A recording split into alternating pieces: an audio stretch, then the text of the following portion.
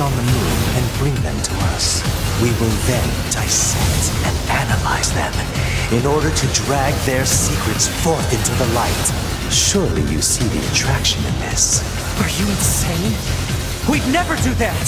Can you believe this, 2B? This guy's bonkers.